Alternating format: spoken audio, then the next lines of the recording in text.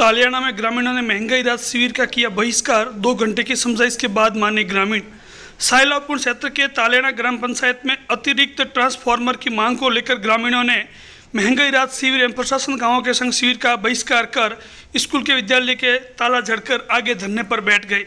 धरने की सूचना पर पूर्व विधायक रामलाल मेघवाल, एसडीएम सूरज भान विश्नोई विद्युत विभाग के गोपाला राम मौके पर पहुँचे व ग्रामीणों से समझाइश की। ग्रामीणों की मांग थी कि हमने पहले भी विद्युत ट्रांसफार्मर को लेकर सताया था, मगर अभी तक विद्युत ट्रांसफार्मर नहीं मिलने से किसानों को भारी समस्याओं का सामना करना पड़ रहा है। व विद्युत कृषि बेरों पर वोल्टेज बहुत ही कम मिलता है। ऐसे में ग्रामीणों ने कहा कि अगर ट्रांसफार्मर नहीं मिलता है तो हम धरना समाप्त नहीं करेंगे।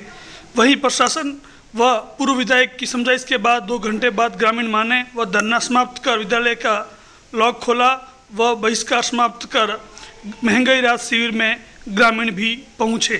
हमारी पूरी मांगे पूरी करो। पूरी करो पूरी करो। एक ही मांग।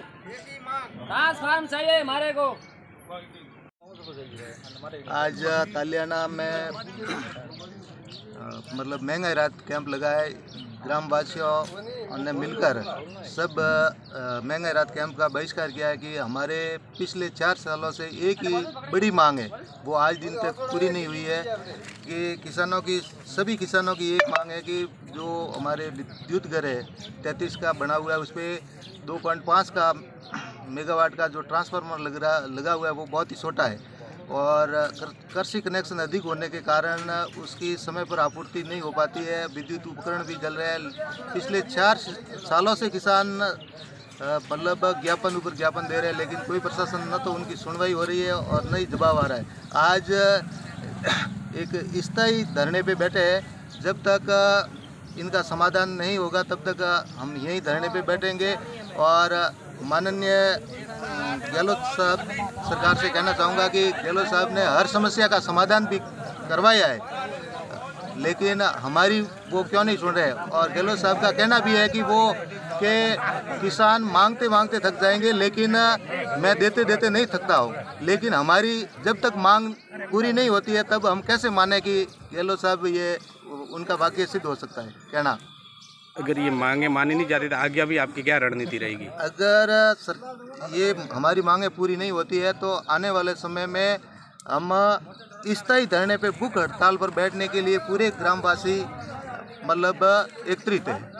मतलब ज्ञापन मतलब दीदू है ट्रांसफार्मर बारे में ठीक है? न तो कोई उन्हें सुनवाई है न कोई बात है ठीक है? ज्ञापन देता ने करीब चार साल हुई है ठीक है? प्रशासन कोई जवाब दे। प्रशासन खाली आश्वासन आपके आ जाएगा। हो जाएगा। खाली आश्वासन का आपके आ जाएगा ठीक है? आश्वासन देते करीबन चार साल हो गया।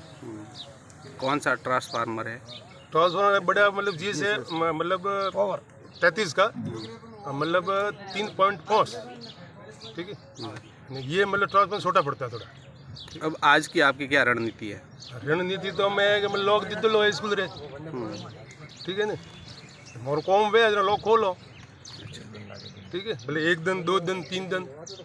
बैठे हैं गाँव वाले। लगातार धरना जारी रहेगा जब तक समस्या का समाधान नहीं होता तब बिल्कुल।